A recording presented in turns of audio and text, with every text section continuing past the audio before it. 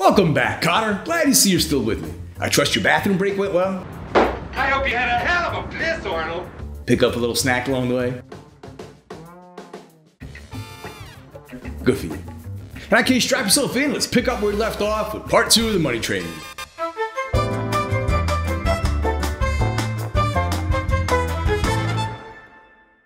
Okay, so picking up where we left off, I'm going to copy that last frame and paste it onto the next page. So it's going to be two frames describing the same shot, an A and a B frame. In the B frame, she's going to be looking up as the stream of money cascades down. You know, after uploading part one of this Discover card job, it was brought to my attention that I tend to gloss over the whole process of shot selection. Meaning, I don't talk about the thinking that goes into which shot I'm choosing and what shot will come next. Whether it's a close up, medium shot, low angle, high angle, you get the idea. Well, it turns out there is a reason why I don't really go into that aspect of the job in most of these videos, and that's because on most jobs, this one included, I just get a shot list from the director which tells me exactly what to draw. Kind of like what you're looking at here. The director will write down descriptions for each shot he wants me to draw, and then usually we'll jump on the phone so that he can elaborate or I can ask any questions that pop into mind. As much as I like to talk about the importance of developing strong storytelling skills, the truth is that traditionally, this is the job of the director. I mean, that's pretty much what they do, that's literally in their job description. But I do think that the topic is interesting, and it's important enough that I feel like it deserves its own series of videos. Hopefully, I can get to that in the not too distant future. Okay, so now we get to the part where the money really starts raining down. Here's where things get interesting. My initial thought was to simply grab an image from the treatment, scale it up, and then trace all of that cash. I stopped after only half a frame, stepped back and did the math. At this rate, I'll be drawing little falling dollar bills until the next ice age, so instead, I decided to follow the sage advice of Scrooge McDuck. Work smarter, not harder. Instead, I drew one dollar bill and then opened 3D Studio Max. First, I created a particle system and then a camera. I positioned the camera where I needed it to be, then created a 2D plane, the approximate dimensions of a dollar bill, and gave it a little bend in the middle, saying it wouldn't look too stiff, you know? Inside the particle flow control panel, I set the shape to shape instance, which essentially allows you to use any geometry as your particle, and then selected V-Ray as my renderer. I chose V-Ray specifically so I could add the V-Ray Toon feature.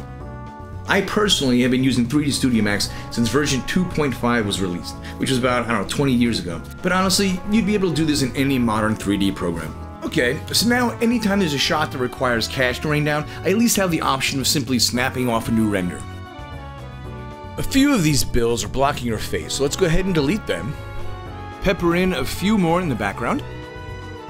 And then I'll just erase the background image behind all of these bills. And finally, I think I'll strengthen some of these lines with my fine marker brush.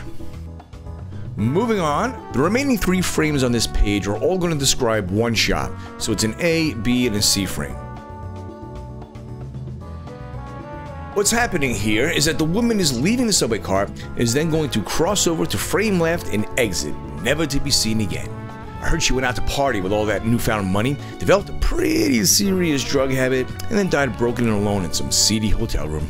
Grass isn't always greener, folks. But the good news is that in frame C, a new character, who also has money raining down on him, enters from frame left and becomes the new hero of the spot.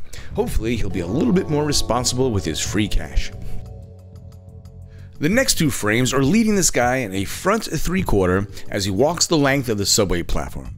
Turns out life is pretty good when you've got an endless stream of cash pouring down on you, and, you know, no crippling drug habit. In the first frame, I can get away with just tracing the location photo in the background, but for the B frame, the camera is going to swing around to end up in a perfect frontal shot. I don't have a photo of that exact angle, so I'm going to just grab my perspective tool here and freehand it, baby.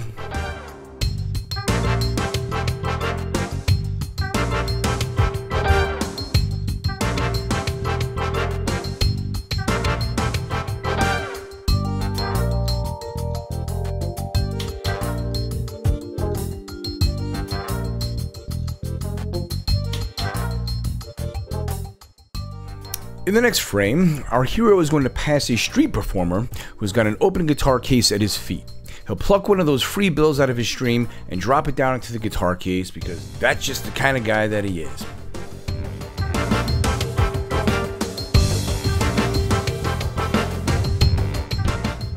The next shot will be a wide shot of the platform as two different commuters enter from either side of the frame, both with streams of money. First, I'm going to get the background drawn up and out of the way. Then I'm going to open up my stock men walking file, which is something you've seen me do now in a number of these videos. This is just a sheet with a bunch of guys walking, all loosely sketched out. It's super handy when you're in a time crunch to be able to just use these previously drawn sketches as a starting point and build up on top of that.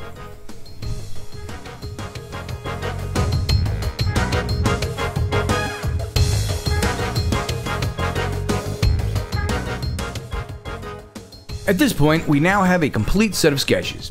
That was the hard part. Once those sketches were approved by the director, it was smooth sailing.